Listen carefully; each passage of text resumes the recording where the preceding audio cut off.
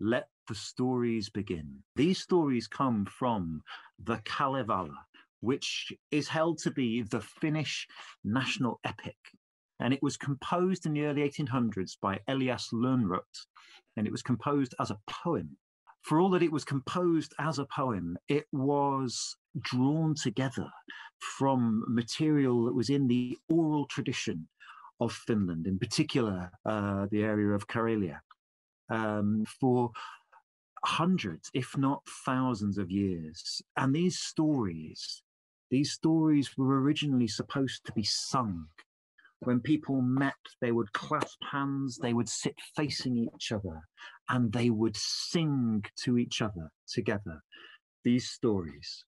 But when Elias Lönnrot pulled them together into the poem, then he spoke of snatching them from the roadside, of plucking them from the heather, tearing them from the brushwood, drawing these stories from the mud of the footpaths that crossed the whole wide country of Finland.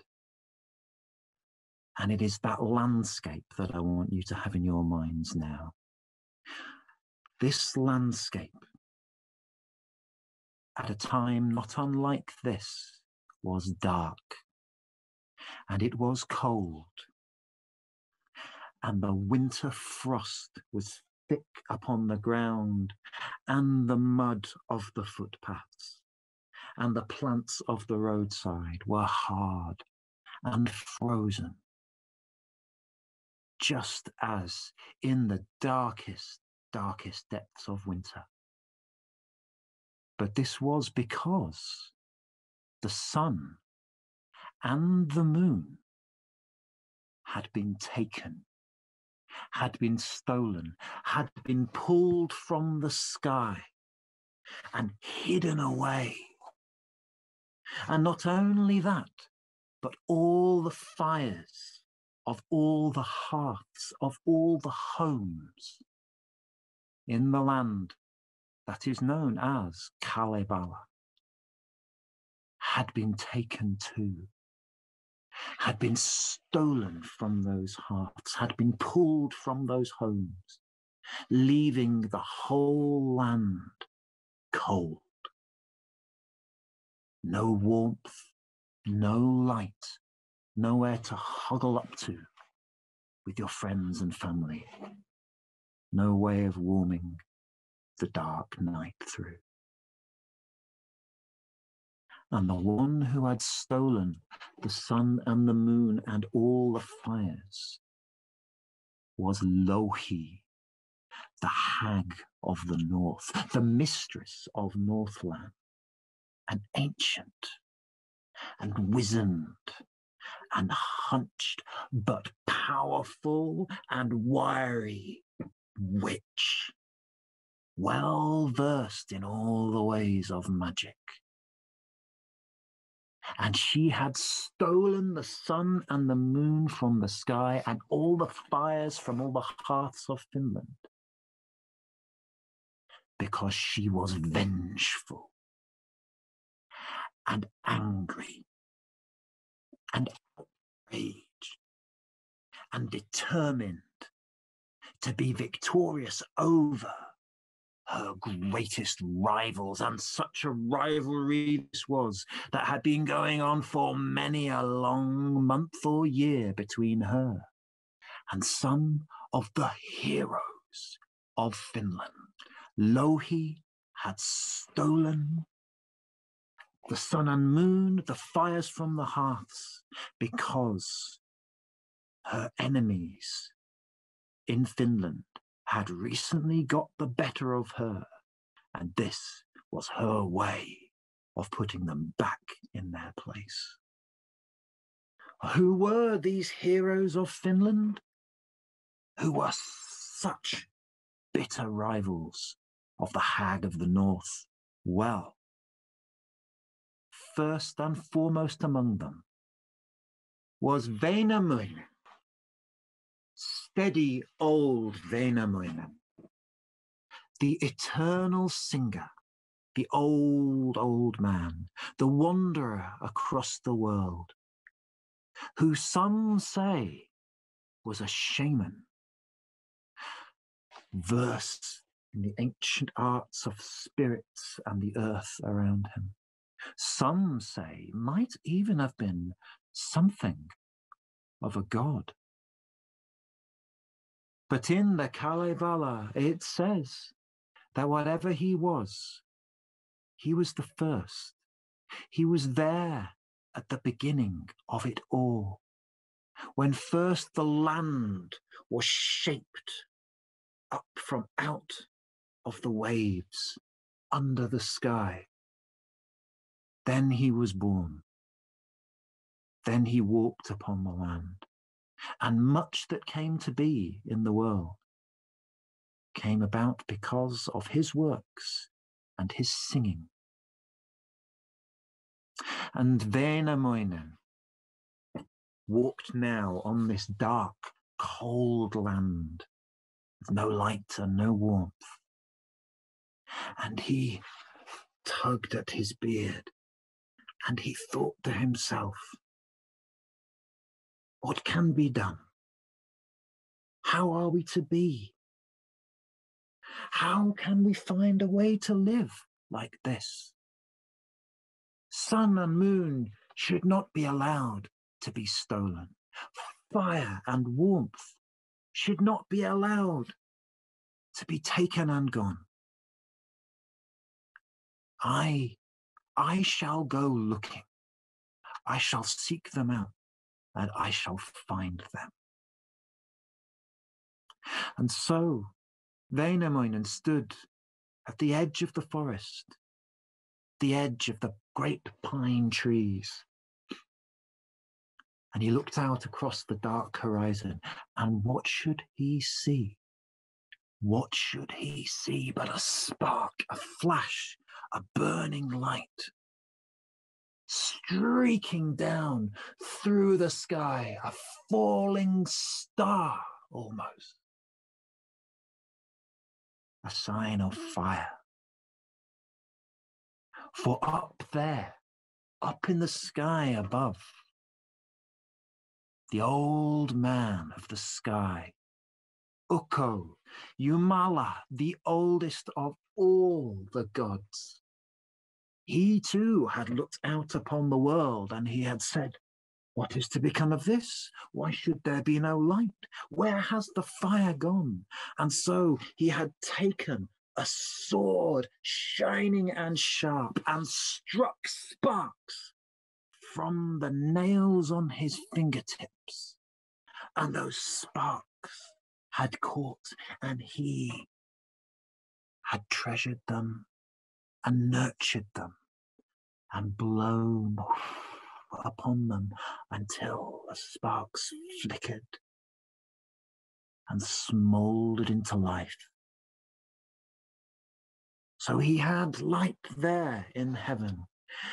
And to keep this light alive, he had given it to a lass of the air, an air daughter, a spirit to watch over this. And she had watched and she had tended the fire, but as you may well know, fire is hot. And it was not easy for the air daughter to keep hold of the fire. And she tried, she tried as she might, but however skillful and strong she tried to be, it got harder and more and more painful to keep hold. And in the end, she could keep hold of it no more and she had to let go, and the fire dropped. And that is why Wainamoinen, steady old Wainamoinen, saw the streak of light falling down there through the sky and landing somewhere out there on the earth. And at once, Wainamoinen made ready to go on a journey to find that fire, but he did not go alone. He went to his brother, his friend, his sometime rival, but his companion now, Ilmarinen. Ilmarinen the smith, the one who some stories say forged the sky above itself. But who now? Now his forge was cold and bare, with no fire. But Wainamoinen said to him, Ilmarinen, friend and brother, let us go together, for I have seen, I have seen fire fall from heaven. And the two of us, we might bring it back, so that the land of Kalevala should have warmth and light again. So Ilmarinen made ready too, and together they set off. And it was a long journey and a hard journey. And it took them many, many miles over frozen hillsides and deep valleys and black forests. But in the end, they came to the shores of a great wide lake. And as they walked around that lake, they saw shadows shift and a shape emerge from the darkness. And this was the air daughter. And she said to them, You, all men of this land, where do you come from and what is it you are seeking? And Wainamoinen said, We come from Kalevala, and we have come seeking that burning light, that shining fire that dropped down to earth, not far from here. And she said, Well, you have come to the right place. It was indeed very, very close to here that the fire landed, but to find it, that will indeed be hard. The fire, when it fell, it landed here in this very lake, deep down in these very waters. And when that fire sank down to the bottom of this lake, then the waters boiled and roiled and frothed and bubbled until the waters rose up high around the shores of the lake. And the foam would have been higher than your heads, and all the fishes of the lake were thrown up high with the foam, and not one of them could reach it to put it out. Except one, one small, tiny, silvery white fish, which splashed down through the royals and tumbled through the foam and swam up to the spark of that fire, the spark that still glowed there deep in its heart, and it opened its mouth wide and swallowed the fire down. And when it did that, then the waters cooled and the foam settled and the waves and the roiling splashed back down and all the fish were free to swim on. And swim on they did, but that white fish, it was not long before it felt, oh, a burning in its stomach, oh, a pain in its guts, Oh, and it cried out, Oh, who will relieve me of this pain? Is there not a fish who will swallow me to take this horrible suffering away? And there was one. Eventually, a trout approached, rainbow shining through dark water. And it came up behind that white fish and it opened its mouth wide and swallowed the white fish down, and the trout could swim on. But it was not long before the trout felt in its belly a burning in its stomach, a pain in its gut, and it twisted and it thrashed, but it could not make it go away. And so then the trout cried out, Is there not a fish who would swallow me down? Gulp me down whole to make this suffering go away. And eventually, there was a fish. And this fish was a great, grizzled, hardy, horny pike who swam up behind the trout and opened its jaws wide and with a swallowed that trout down.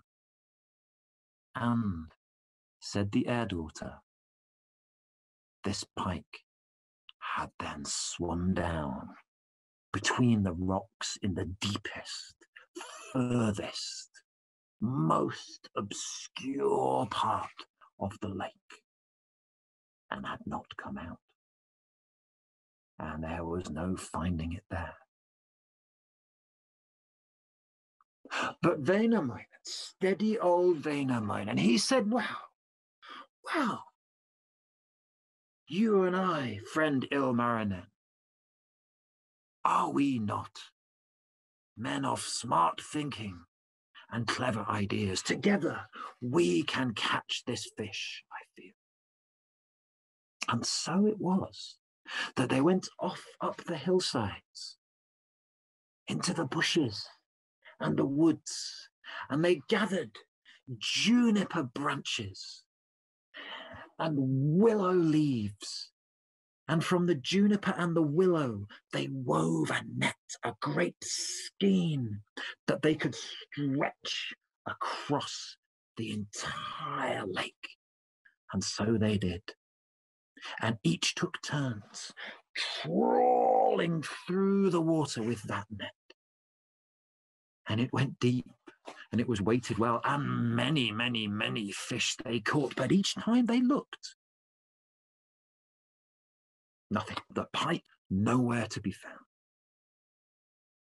And so, steady old Wainamoinen, and he looked at the net and he looked at Ilmarinen, who looked back at him, and he said, Okay, we try a bigger net and we make it out of something else. We must make it out of hemp. Are there people hereabouts who might be growing hemp? And there were people in their cold, dark huts, but no hemp were they growing. So Wainamoinen went up onto the hillsides until he came to an open patch of ground with good deep soil. And there he sowed hemp seeds, and there he stood, and there he sung. And he sung to the hemp seeds deep down, sleeping in the earth. And he sung them awake, and he sung them into life. And he sung the hemp stalks high up out of the ground until the whole field grew in but one night. And when the people saw this, then they were amazed. And so all the people came together and they harvested that hemp, and from it they wove rope that could be tied and woven further into a net, a net so great, weighted down so heavy that it could reach a hundred fathoms. And it was then that that net was stretched wide across the lake. And again, Wainamoinen and Ilmarinen hauled the net through the deep waters, through the dark tides. And many, many, many fish were caught, and each time they lifted it to the surface, then thousands upon thousands of whitefish and trout and salmon and perch were there to be enjoyed, but none of them were the fish that they were really after. And so they tried hard and they tried longer. And the pike down between its rocks, it saw the weights scraping across the bed of the lake. And would it come out? It would not come out until Wainamoinen and Ilmarinen were wading waist deep, chest deep, shoulder deep in the icy water and heaving with all their might to drag that great net as deep and hard and strong as they could through the water, and then the pike could escape no longer, and it found there was hemp around its neck. There were ropes around its shoulders, and it was being dragged up, up, up, up, up through dark water out into the air. And between them, Wainamoinen and Ilmarinen hauled it onto the shore, to the quayside, to the village, where all the people gathered round. And Wainamoinen looked at it and he said, But dare I touch this without gloves upon my fingers, without mitts upon my hands. And at that moment, a knife came spinning through the air from out of the sky, down from heaven. Someone had been listening and watching from up there. And Wainamoinen caught that knife, and with it he slit open the side of that pike and there they found a trout, and slitting open the trout, they opened it up. And there they found a whitefish, and slitting open that whitefish, there they found fire. But fire found air and the night and the whole open world, and fire leapt from the fish and onto the shore and onto the hillside and on to the brushwood and the heather and the hedgerows, and fire was everywhere. Fire ran like the wind, fire raged and laughed and danced and leapt all across the whole land of Kalevala. And the people ran to their huts to take shelter. Stood forward. Ilmarinen, the trusty smith, looked to scoop some of this fire up for his forge. But as he bent and opened his arms wide and plunged his hands down to the depths of the flame. Then he was scorched and burned and rolled back onto the ground. And it was Wainamoinen, steady old Wainamoinen, who waited until the fire tired itself out and came to rest in a hollow between the trees and he found it there, and he sang to the fire, Fire, you have no cause to rage and run. Be peaceful, be steady. Take it easy. And he gathered the fire up on a piece of fungus from the woods, growing there in the tree trunks. And he carried it back to the people. And everyone was able to feed their own hearts from a little bit of that fire. And everyone was able to have warmth and some light on that dark winter's night once more. And Ilmarinen, rolling himself in the shallows of the lake, steaming as he did so, sat back and saw all the lights start to appear. And that is the end of my first story from the Kalevala.